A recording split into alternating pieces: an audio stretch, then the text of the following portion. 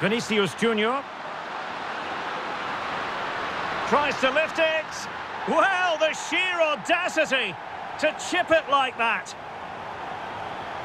Three goals without reply.